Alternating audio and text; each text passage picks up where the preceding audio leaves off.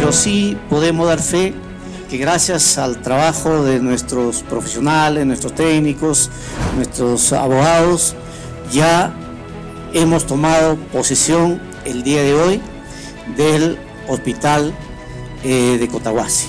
El gobierno regional de Arequipa ha recuperado el control del hospital de Cotahuasi.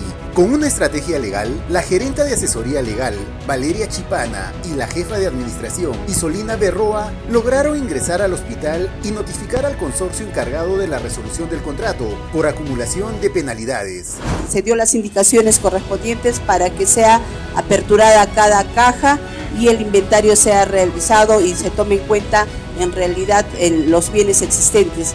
No, vamos a tener que proceder a que se elabore el expediente de saldo de obra. Una vez elaborado el expediente de saldo, saldo de obra, vamos a poder dar inicio a la ejecución y culminación y puesta en funcionamiento de este hospital.